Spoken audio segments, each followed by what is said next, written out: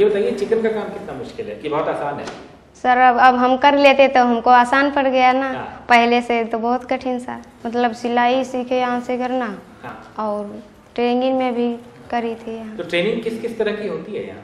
क्या क्या सिखाया जाता है आप लोगों को? सर सीधी सिलाई लगाना सिखाया गया तिरछा मतलब बनवाया गया है जिसे यही सब बताया। सीधी सिलाई मतलब समझाइए फ्लीसिंग आई जाए मतलब हाथ में सफ़ाई आई। एक बार शादी नहीं हुई थी तब सीखे थे। हाँ। तो मम्मी पापा से कहा हमको मशीन ले दो। तो कह रहे हैं पैसे जब होंगे तब कर लेंगे ले देंगे मशीन। लेकिन सर मंजूरी करते हैं तभी तो। यहाँ से आए हैं, जुड़े हैं तो कुछ पैसा कमाएँगे सर तो खरीद लेंगे। सर हम तो सोचा ही और मतलब पैसा ही कमाए नाम कमाए सर। अच्छा ही हमारा नाम हो कि मतलब हर चीज़ बना कर कर लेती है।